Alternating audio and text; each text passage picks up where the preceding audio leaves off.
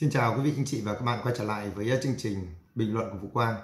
Trong chương trình bình luận ngày hôm nay Vũ Quang uh, tiếp tục đó là cập nhật những uh, thông tin về xung đột tại Ukraine cũng như là bàn cờ quân sự trên thế giới. Cho đến ngày hôm nay thì chúng ta đã thấy cái sự tuyệt vọng của Nhà Trắng, của tập thể phương Tây trước các nước cờ của Điện Kremlin rồi. Thế sự tuyệt vọng của Mỹ cùng với đồng minh chư hầu Hoa Kỳ thì viện vàng vẫn đang cố gắng để mà tuyên truyền cho chiến thắng của lực lượng vũ trang Ukraine và sự hiệu quả của phương Tây viện trợ cho Ukraine. Các diễn đàn me Tây, các diễn đàn vẹn vàng đang tung đang tung hô hỏa mù ở trên không gian mạng thể hiện là tập thể phương Tây đang kiên quyết đoàn kết hỗ trợ cho Ukraine đánh bại Nga trên chiến trường. Trong khi đó thì các chuyên gia quân sự thế giới thì lại đưa ra nhận định là sự tuyệt vọng của Mỹ và phương Tây khi mà viện trợ cho Ukraine đã không tạo ra hiệu quả ở trên chiến trường. Về việc này thì Vũ Quang bình luận trong hầu hết các video đã dẫn chứng rất cụ thể cùng với quý vị anh chị bạn. Sự tuyệt vọng của phương Tây nó thể hiện thông qua viện trợ. Nỗi sợ của phương Tây nó thông qua viện trợ. Nếu như phương Tây tin tưởng là hỗ trợ cho Ukraine và đánh được bại Nga ở trên chiến trường thì chắc chắn các gói viện trợ nó phải có sự đồng bộ. Chứ không bao giờ nó chơi theo kiểu gián đoạn. Nó không tạo ra một mắt xích liên kết, sức mạnh để tạo ra sức mạnh cho lực lượng vũ trang Ukraine cả. Khi mà Hoa Kỳ viện trợ M17 và cùng tập thể ông Tây viện trợ một loạt pháo tự hành, thì lại chưa có HIMARS. Đến khi thấy hiệu quả trên chiến trường không có không có tác dụng thì bắt đầu tăng cường viện trợ đạn pháo cùng với HIMARS. Ukraine thấy ghi hiệu quả của HIMARS yêu cầu viện trợ 200 hệ thống. Hoa Kỳ cũng không viện trợ. Đến khi mà Nga tấn công một loạt các hỏa lực tầm xa đồng bộ vào các thành phố lớn của Ukraine trong tháng 10 thì phương Tây bắt đầu mới vội vàng viện trợ lá chắn phòng thủ trong khi Ukraine đòi hỏi lá chắn phòng không từ cuối tháng 3 và tháng 4 năm 2022. Nhưng mà số lượng lá chắn viện trợ cho Ukraine nó cũng chỉ mang tính chất nhỏ giọt. Và đến ngày hôm nay thấy rằng là lá chắn phòng thủ không ăn thua, ba chữ không ăn thua, pháo tự hành không ăn thua, HIMARS không ăn thua. Anh đã viện trợ tên lửa tầm xa và ý đồ viện trợ cả F-16 cho Ukraine cùng với tăng thiết giáp và đến bây giờ thì tăng thiết giáp vào trước nhưng mà mỗi một loại xe lại sử dụng loại đạn pháo khác nhau, nhiên liệu khác nhau. Kết quả trong cuộc phản công sử dụng tăng thiết giáp phương tây, hiệu quả hay không anh chị tự trả lời. Tên lửa tầm xa của anh có hiệu quả hay không, chúng ta đã thấy ở trên chiến trường. HIMARS thì bản thân Ukraine đã thừa nhận, Nga đã khắc chế được nó, lầu long góc và chẳng hiểu chuyện gì đang xảy ra. Còn vẹn vàng nói rằng đây là tổ hợp HIMARS được săn lùng lớn nhất trên thế giới, hiệu quả nhất trên thế giới, vũ khí tuyệt vời nhất mà Ukraine đang có trong tay. Còn thằng Lê Méo thì nói là gì ạ? Thằng Lê Méo gọi là chương trình đàm luận thế que đấy. Cho là hiện tại bây giờ Ukraine đang có rất nhiều vũ khí tối tân trong tay, như là tên lửa tầm xa của Anh, như là HIMARS của Mỹ, như là pháo tự hành của phương Tây, rồi tăng thiết giáp của phương Tây viện trợ và sẽ còn gây ra nhiều hậu quả lớn với đại Nga nữa. Thế mà chả hiểu tại sao đến ngày hôm nay, lầu Lâm góc đưa ra thông điệp là viện trợ bom chùm. Ông Biden nói rằng đây chỉ là giải pháp tạm thời, vì chúng tôi cạn kiệt đạn pháo chuyển giao cho Ukraine rồi. Còn lê méo đàm luận thế que đấy, cùng với các diễn đàn vẹn vàng đấy, thì vẫn cứ ca ngợi trước sự bất lực của phương Tây, thì vẹn vàng cứ việc ảo, và mọi thứ sẽ được đặt đúng vị trí của nó. Chó săn bị bệnh dại thì vẫn cứ là chó săn của bệnh dại. Thế giới hiện đại bây giờ không chấp nhận chủ nghĩa đế quốc thực dân, không chấp nhận chủ nghĩa khủng bố và chủ nghĩa tân phát xít. Không bao giờ chấp nhận. Khi không chấp nhận thì bắt buộc phải đẩy nó quay trở về với đại tây dương. Chỉ có một bước đi của Prigozhin thôi, mà làm cho cả NATO rung chuyển Tổng thống Lukashenko tự tin để phát biểu trả lời với CNN.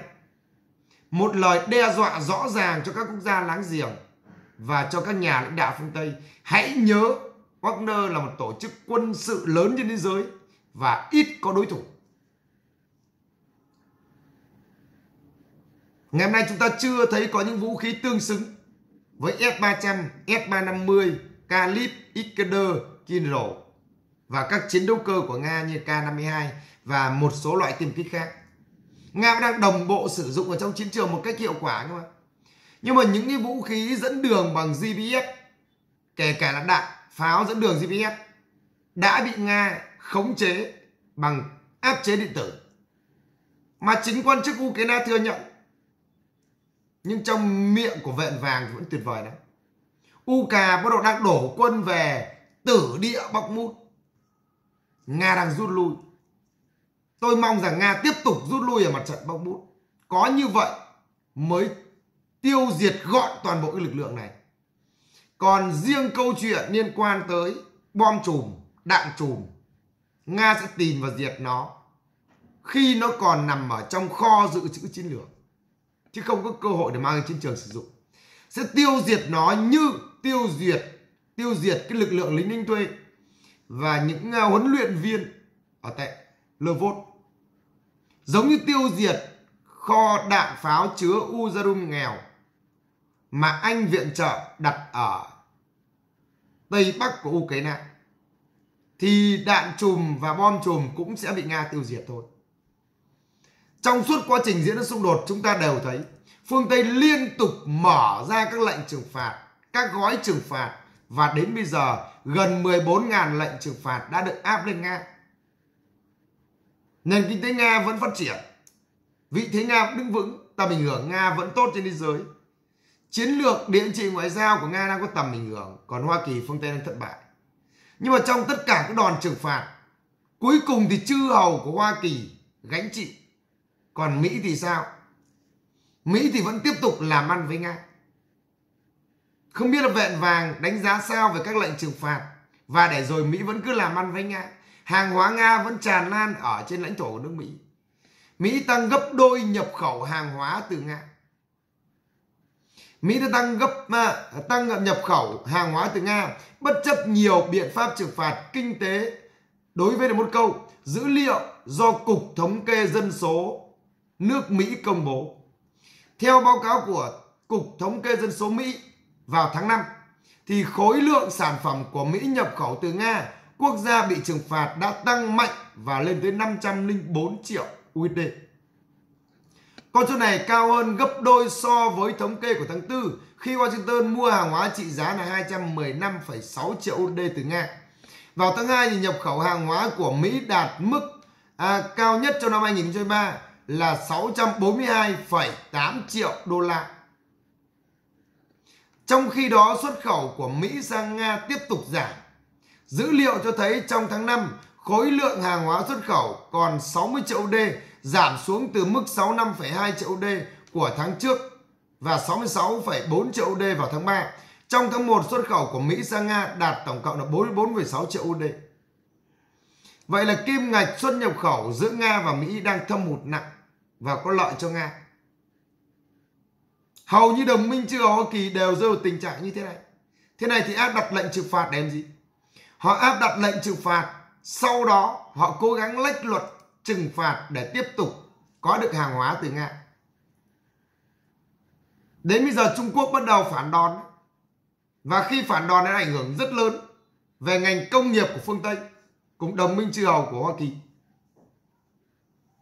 Và người ta bàn luận rằng là lý do tại sao bản thân Hoa Kỳ lại cung cấp đạn chùm cho Ukraine.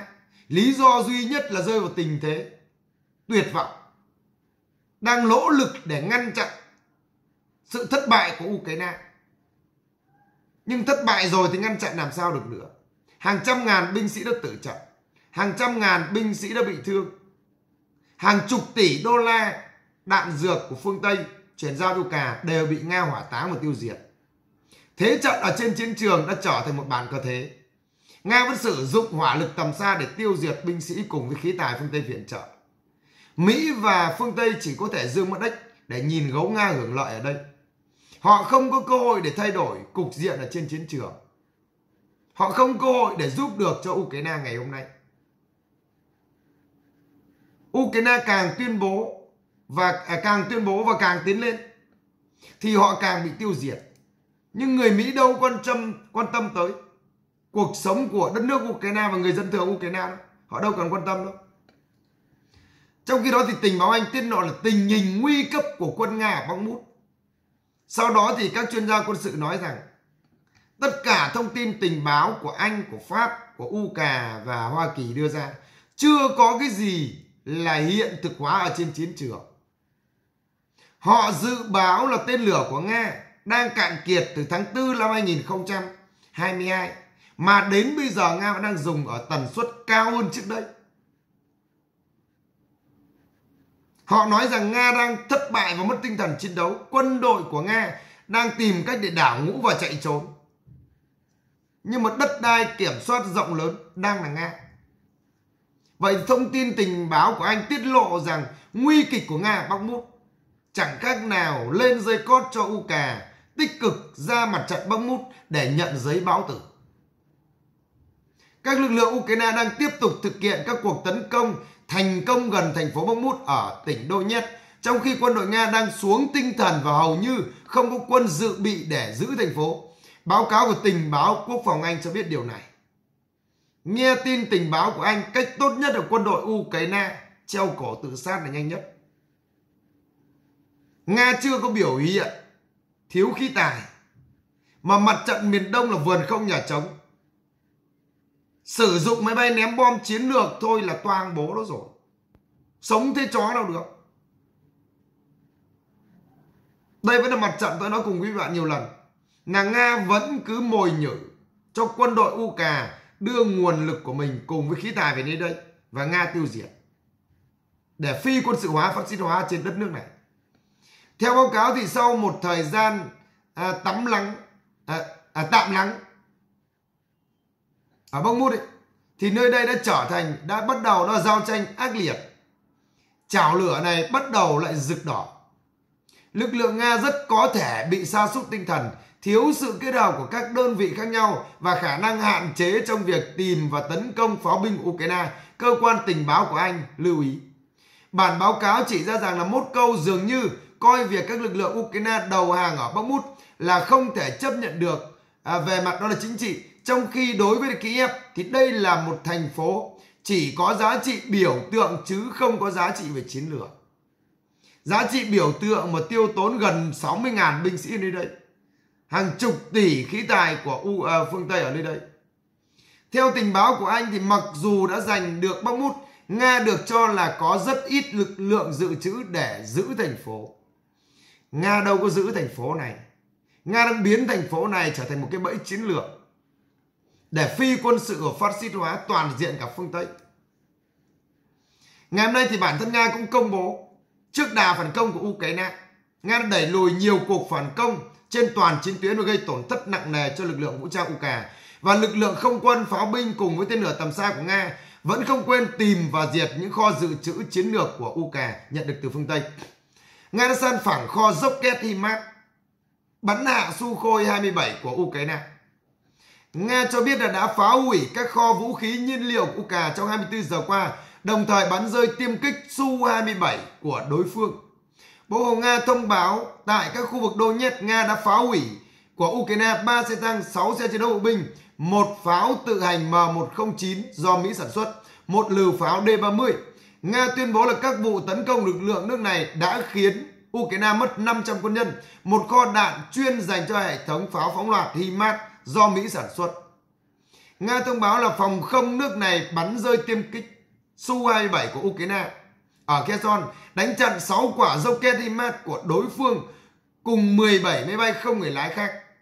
Ở hướng Nam Donetsk, Nga nói đã chặn các mũi tấn công của các nhóm lực lượng Ukraine loại khỏi vòng chiến đấu của 170 quân nhân và ba xe chiến đấu bộ binh, một pháo à, tự hành M17 do Mỹ sản xuất, một pháo à, tự hành à, cắt sơ do Pháp sản xuất và một lều pháo khác, hai lều pháo à, Mata P và 2D20 và một kho đạn. Uka cứ tiến lên, Nga cứ tiêu diệt hậu cắn. Và sau đó Uka chỉ có một con đường duy nhất là đầu hàng vô điều kiện. Trước bối cảnh bàn cờ quân sự ở Đông Âu đang thay đổi rất lớn và bất lợi cho đồng minh chư hầu, đe dọa không gian an ninh cho toàn bộ châu Âu. Đặc biệt trước thềm thượng đỉnh của NATO diễn ra tại Litva vào ngày mai và ngày kia thì Đức và một số quốc gia bắt đầu sợ hãi và tìm cách để chặn Ukraine trở thành thành viên của NATO. Vì lo sợ sẽ xảy ra xung đột trực tiếp với Nga. Ngay bản thân Liên minh Anh Mỹ còn không dám mời trực tiếp chứ đừng nói là quốc gia khác. Đức được cho là sẽ kiên quyết yêu cầu trì hoãn việc Ukraine gia nhập NATO vì lo ngại động thái này có thể khiến liên minh này lâm vào chiến tranh với Nga, theo báo cáo của Anh. Từ việc Đức sẽ tìm cách ngăn chặn, thì lời tuyên bố của ông Erdogan rằng Ukraine xứng đáng là tư cách thành viên của NATO có phải là một màn chế giễu kịch bản đưa Ukraine trở thành thành viên NATO không? Có phải bản thân ông Erdogan đang à, chọc giận các quan chức diều hâu phương Tây không? Đang gây áp lực cho Liên minh Anh Mỹ không? Đang chế giễu những cái quan chức của Pháp, của Đức và một số quan chức khác trước đây đã ủng hộ cho kế hoạch sáng kiến này hay không? Một nguồn tin của liên minh cho biết là Berlin sẽ nhận hội ờ, sẽ nhân hội nghị thượng đỉnh à, của liên minh của liên minh NATO ở tại Litva trong tuần này để kêu gọi các nước khác tập trung vào đảm bảo an ninh thay vì đề xuất tư cách thành viên cho Ukraine. Nguồn tin nói rằng là Berlin tỏ ra lạc quan trước triển vọng trở thành thành viên. Ngay lập tức, Berlin cần một quy trình và thời gian để phát triển cách đảm bảo về cơ bản là ngăn chặn tư cách thành viên Berlin không muốn thấy Putin có khả năng thử nghiệm điều năm. Thử nghiệm điều năm tôi. Theo điều khoản thứ năm của NATO thì bất kỳ quốc gia nào bị tấn công coi như tấn công một cả khối và lúc này sẽ xung đột trực tiếp với toàn khối với Nga sẽ sẽ dẫn ra. Và chính vì mối lo này mà họ đang phải suy xét tới việc ngăn chặn tư cách thành viên của Ukraine trở thành thành viên của NATO. Còn người ta nói là sau hội nghị thượng đỉnh ở Litva, có thể Ukraine cần phải chuẩn bị sẵn sàng cho một kế hoạch làm mất Odessa. Vì Nga có đầy đủ nguồn lực và tiềm lực để thực hiện cái điều đấy. Sở nghĩ Nga chưa tiến về điều ờ, chưa tiến về phía Tây vì Nga đang không muốn leo thang xung đột, muốn giải quyết và chấm dứt xung đột thông qua hòa bình, nhưng tập thể phương Tây thì lại không muốn thực hiện theo con đường đó, mà muốn ép Nga phải thất bại chiến lược thì mới hài lòng. Thì đến ngày hôm nay chính tập thể phương Tây đang tuyệt vọng chứ không phải là Liên bang Nga nữa. Đây là những gì Vũ Quang cập nhật chia sẻ bình luận cùng quý vị anh chị bạn trong buổi nói chuyện ngày hôm nay. Rất cảm ơn quý vị anh chị bạn đã quan tâm theo dõi và ủng hộ cho Vũ Quang. Xin chào và gặp lại quý vị anh chị bạn vào chương trình bình luận tiếp theo.